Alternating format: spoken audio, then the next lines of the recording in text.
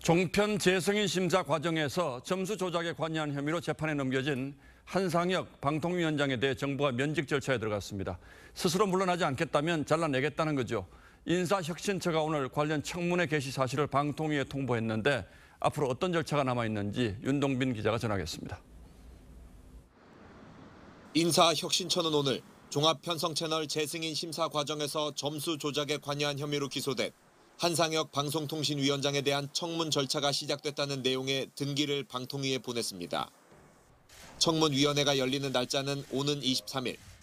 정부는 한 위원장의 소명을 들은 뒤 청문위원회 회의를 거쳐 면직 처리 여부를 결정할 예정인데 정부가 면직을 제청하면 대통령이 이를 제거할 것으로 보입니다.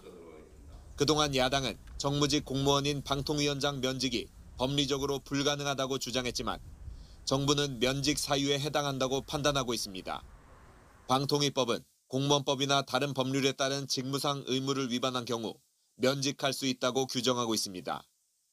아직 제가 확정되지도 않았는데 하는 게 과다라고 하는 의견이 있으신 것 같고 아, 반대쪽에서는 국가공무원법에 따라서 어, 면직이 가능하다라고 하는 검찰은 한 위원장이 점수 조작을 알면서도 숨겼다고 보고 위계에 의한 공무집행 방해와 직권남용, 허위 공문서 작성 등 3개 혐의를 적용해 기소했습니다.